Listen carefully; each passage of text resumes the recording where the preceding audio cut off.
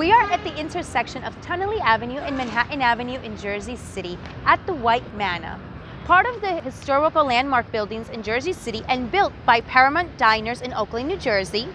It was known as the diner of the future and an introduction to fast food when it sold burgers for 10 cents in 1946. It's famous for its burgers and its Jersey disco fries.